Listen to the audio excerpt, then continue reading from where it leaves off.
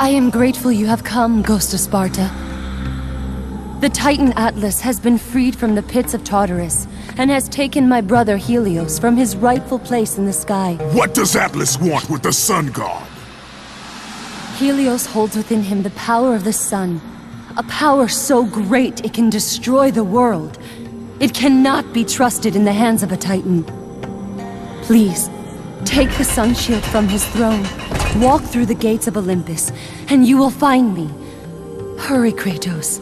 Even now, my brother suffers at the hand of Atlas.